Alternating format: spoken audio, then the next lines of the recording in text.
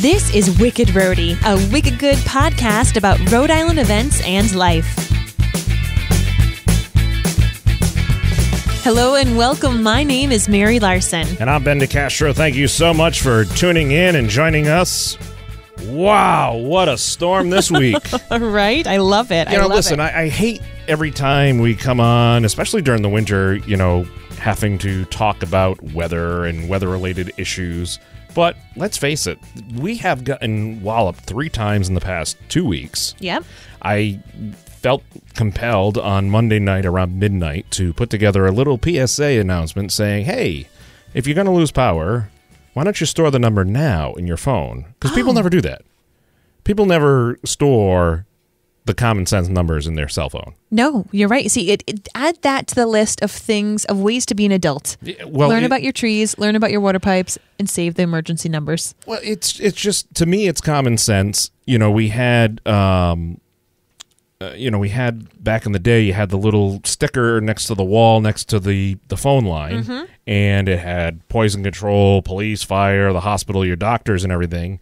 Now we have these cell phones, which can literally store tens of thousands of phone numbers, and all you have to do is maintain those contacts. Yep. So just put in National Grid power outage. Next time you lose power, because that happens in this area, just go to your phone and type in power outage. And the important thing is, is and of course we're saying this a few days after the storm, but for the next time, even if your neighbor says, "Oh, I called," you need to call as well Okay. because that helps them keep a tally saying, okay, this is a really big area, or a lot of people are affected here, and that helps with the the severity of it all, and especially if you see your next street over or whatever has power and you don't, or it comes back on the street over and you're like, uh, where's mine? It's been call them again and say, hey, listen, I noticed the street three you know three streets down Yep. the next street over or even the other side of the the street that you're on because the way the grid works is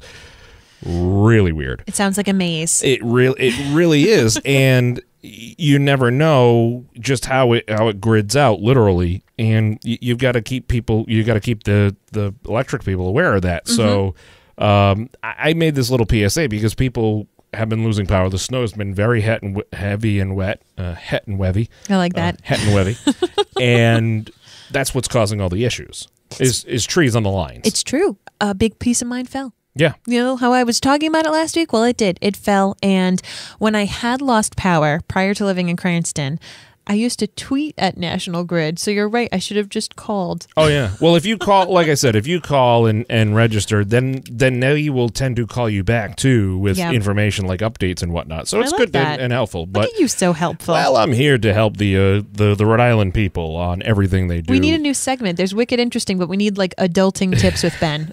well, that's assuming the majority of our listener base are millennials, which it's not. It's all ages, and uh, all ages will be celebrating this weekend. St. Patrick's Day on the 17th, St. Joseph's Day. Grab your corned beef and zeppoles for an entire weekend of fun. Right. oh my God, I'm so excited. I've been watching what I eat all week so that I can eat all of the things, salty and sweet. just preparing it all for uh, Saturday and Monday. Now, will you be going to any parades this weekend? Nope. I love parades, but I'm afraid of how my children will act at them. I'm a huge parade person, but um, we're gonna we are gonna be going up to see a friend who is making the corned beef uh, dinner because good. I don't really cook that well. So I'm bringing Guinness. That is my hard. contribution. It's not hard to cook corned beef, Mary. Do you put it in a crock pot? You put it in a pot of water and you boil it to death. That's it. That's how the Irish cook. I love it. Maybe Just that's boil everything in the pot: potatoes, cabbage, onions, carrots, I can do the that. beef. Perfect. go. Doesn't your house smell bad? It depends. Um, it's. I, I don't know. I don't You- know. You can open a window, I guess. Are you going to a parade? Uh, no, no. I I stay away from large crowds that I don't have a quick exit plan from. So, but there are a lot. I mean, obviously Newport. There'll be Yes. uh, uh, Boston will have their parade this weekend. There's just a ton of them out there. Everything. Yeah, Everybody's so- going to be hopping. So listen, if you tuned in while you're on the road, maybe you're heading to a parade right now and you're listening. We have other things for you to do, or you're getting errands done. Just sit back, listen, and enjoy the episode. If you hear something that piques your interest, we'll have all the links and info for you in our show notes, which can be found on our website, wickedrhodypodcast.com.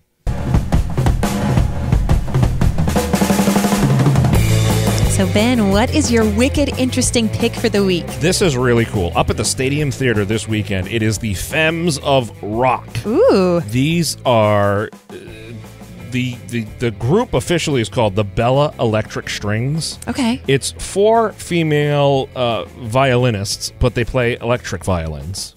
Love it. So it's it's those really cool shaped Yeah. ones. On Saturday, March 17th, so after you've gone to the parades, eaten a bunch of corned beef and cabbage, 8 o'clock, head up to Stadium Theater in Woonsocket.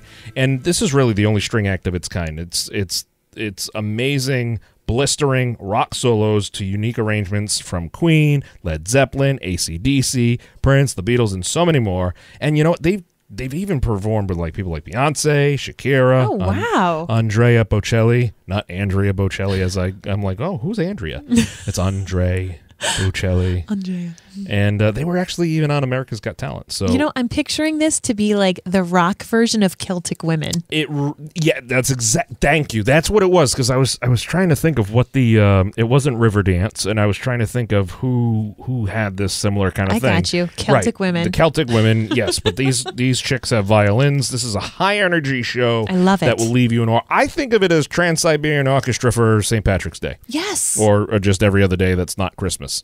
But violin rock. Yes, I love this. not violent rock, violin rock. Look what you did there. we are a fully peace loving organization here. You can obviously find tickets and information on our website. That is our wicked interesting pick of the week, ladies and gentlemen. And here now for your entertainment pleasure. Wicked fun in the 401.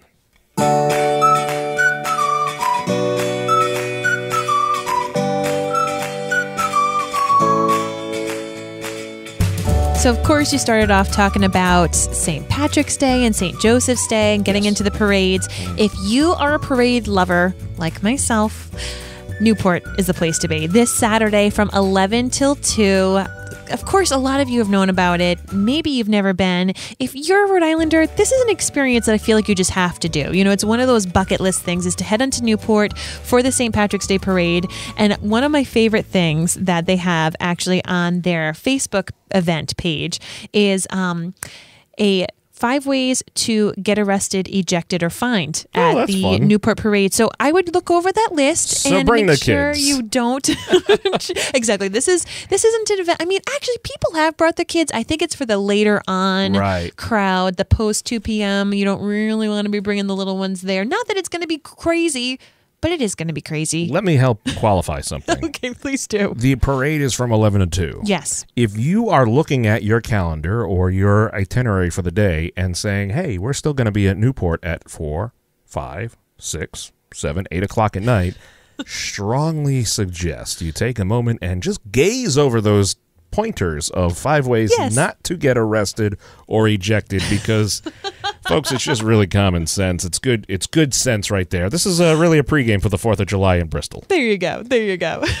so once again, head on over to Newport if you'd like to see a parade or, um, you know, take your family just on the earlier side. Yeah, and then get out of there while you can. Hey, maybe you want to go at some point. If you have ever thought of opening a restaurant, creating your own food product line and whatnot, you've always wondered, hey, how do I do that? Well, there is a food entrepreneur boot camp happening Saturday, March 17th, 9 a.m. to 4 p.m. at Hope & Main in Warren, Rhode Island. Delicious. So, if, again, if you have uh, an idea for a food business, this is the premier food business incubator. What that means is they've taken the old Main Street School in Warren, Rhode Island, and they have turned it into literally a place where you can learn every element of food service, whether you're going to be doing a restaurant where you're going to serve food that's plated, you're going to be creating a product that you're going to sell in the stores and you need to package it, you need to learn how to go through the FDA regulations, marketing, business, all that stuff there.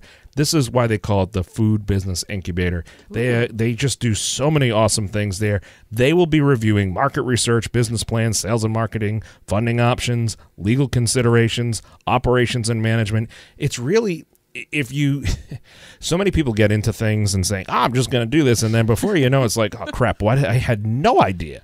This is the way, if you've ever said, I want to create a product that I can sell, my grandmother's, you know, marinara sauce is something unbelievable, perfect for any any any occasion, and I want to bottle it or jar it.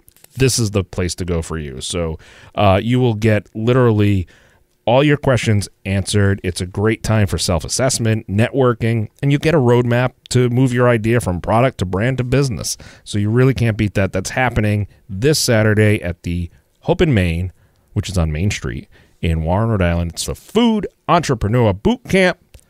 Saturday from 9 a.m. to 4 p.m. What else we got going on? So there's this uh, place called the Pump House Music Works. It's in Peacedale, Rhode Island. So head on down to South County. South It's- County. Yeah, South County. It's a nonprofit organization driven to cultivate culture and creativity in the musical community.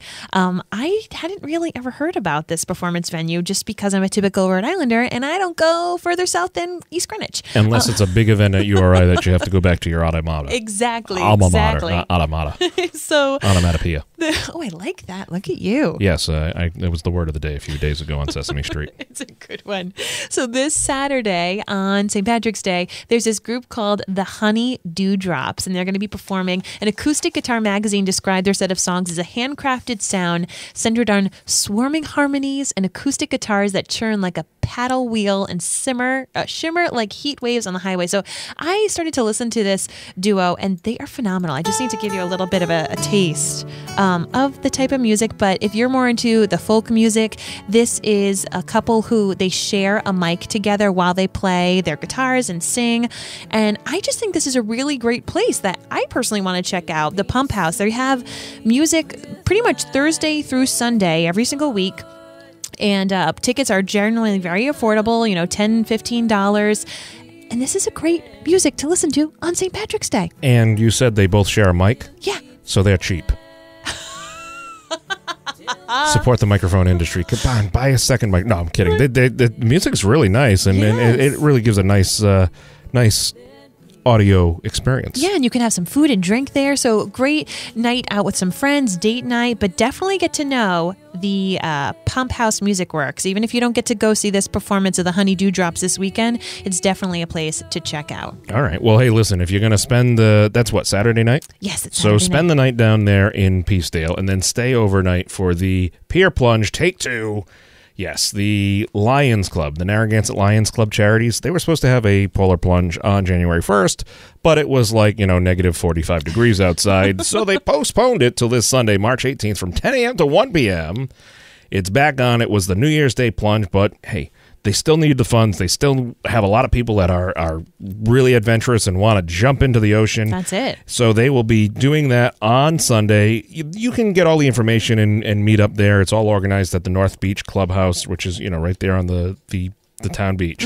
And then Pancho O'Malley's. Mm-hmm. that's one of my favorites there you go. I like the place Poncho Your Face in, but Pancho O'Malley's.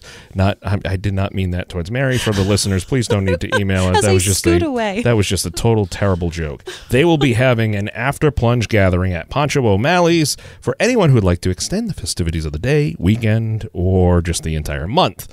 As we've mentioned before, the benefits will go towards the Narragansett Lions Club charities, which obviously they do a ton of work with Mm-hmm. eyes and eyeglasses for children and, and eyesight research and everything. And if you don't want to plunge, just bring money. yes They Hey, won't turn that away. that's great You can get all the information obviously at our uh, on our website there. But that's gonna be a it's gonna be a fun time on Sunday. The weather's looking okay. It's still March. I mean, you're still plunging into the ocean in the winter. which is not bad if you're, you know, into the whole Wim Hof method or the cold thermogenesis or whatever. You know, it's uh, just just do it. Go in slow and uh, enjoy it. Soak it in. Yeah, and then you get to go to Pancho O'Malley's. There you go. Perfection.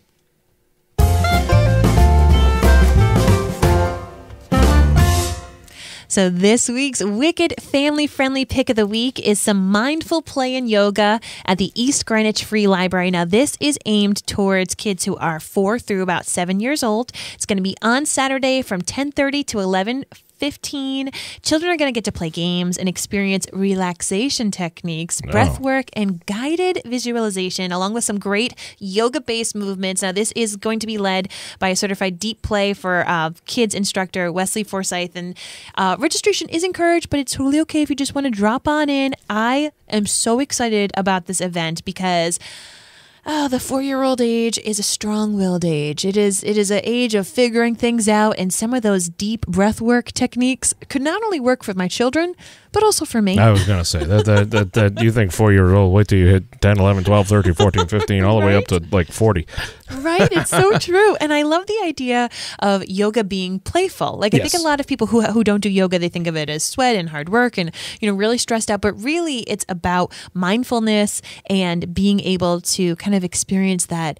Um, the, the depth that you can get inside your own head and having that clarity as well as relaxation and getting tone and fit. But it's it's a lot in one that if you can teach it at a young age and for it to be fun i think is a brilliant thing to do. So if you're looking for something to do on saturday morning and you don't want to head down to newport for the parade head on over to the east greenwich free library. And there's signs all throughout east greenwich pointing to the library. Right, you right, can't miss yep. it. East greenwich is nice and small and they want you to know where their library is. It's up on the top of the hill so you can find it easily. And that once again is for kids ages four through seven years old I feel like this has been a very yin yang episode. like we've given you the excitement where the events literally have tips on how not to get arrested and ejected, and we've brought you information on how to keep your four-year-old from going off the deep end and Right. wild and crazy. So, ladies and gentlemen, with that, you're welcome just send those checks right in.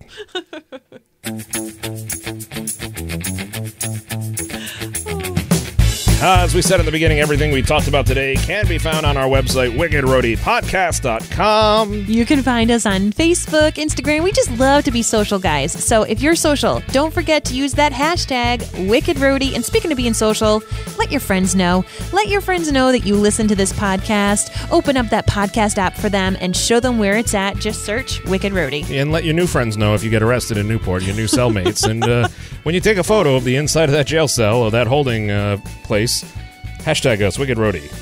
Say, I didn't listen to those people. Uh, they told me to read that article. I'll tell you who is listening, though. Tons of people out there. And if you'd like to get into their earbuds, advertising and sponsorship information is available. Just email us, wickedrhodypodcast at gmail.com. Until next time, folks, I'm Mary Larson. and I'm Ben DeCastro. and you've been listening to Wicked Rhody. We'll have more for you next Thursday. Hopefully, you've been bailed out by then. And if not, hopefully they serve zeppolas in jail. Uh, contact Mike Bataro, attorneys at law. it's good to know Mike Bataro.